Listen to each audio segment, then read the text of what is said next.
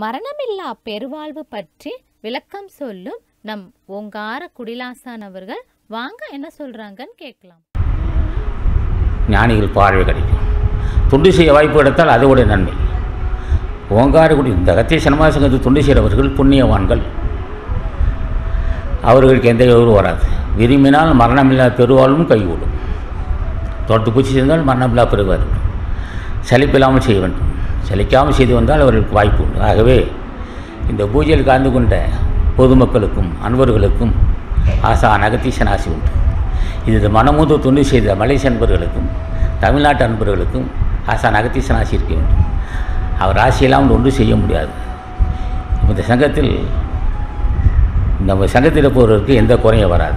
நம்ம சங்கத்தில் சங்கத்தில் உள்ள அன்பர்களுக்கு காலையில் குளிக்க தண்ணி கிடைக்கும். பல்லு விளக்கும் குளிக்கும் தண்ணி கிடைக்காது அது புண்ணியம் நினச்சிக்கணும் சில இடத்துல தண்ணி கிடைக்காது.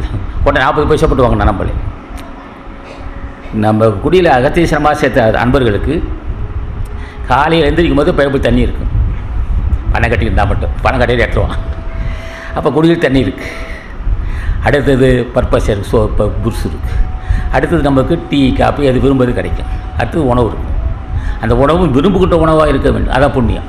காலையில் எழுந்திரிச்சா பைப்பு திரும்ப தண்ணி வரணும். டீயே காப்பியே கிடச்சி கிடைக்கணும். அது பால் சர்க்கரையாக கிடைக்கணும்.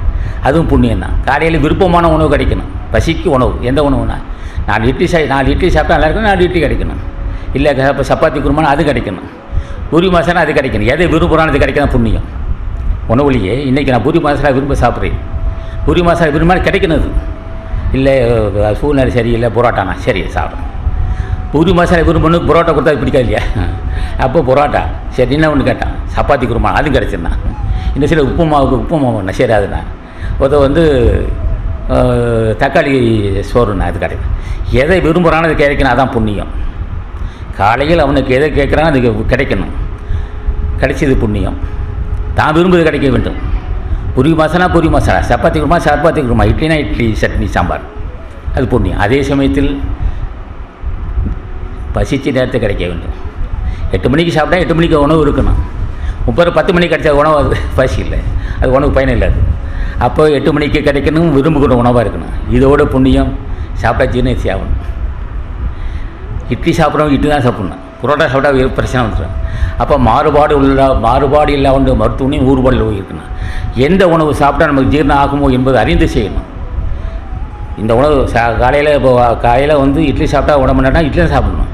புரோட்டா சாப்பிட்டா சப்பாத்தி குருமாவும் புரோட்டா சாப்பிட்டா பிரச்சனை வரும் அதான் சொன்னால் மாறுபாடு இல்லா உண்டி மருத்துவனின் ஊறுபாடு இல்லை இருக்கு நான் வள்ளுவன். எந்த உணவு சாப்பிட்டா நம்மளுக்கு சாதகமோ அதான் சாப்பிடணும். அதுக்கு மேலே சா அதுக்கு தவிர அதை அளந்து சாப்பிடணும். ஜீரணம் ஆகக்கூடியதாக ஜீரணம் ஆக வேண்டும். ஆசானது அருளுரைகளை தொடர்ந்து கேட்க அரங்கர் டிவிக்கு லைக் பண்ணுங்க சப்ஸ்கிரைப் பண்ணுங்க. மறக்காம பெல் பட்டனையும் கிளிக் பண்ணுங்க.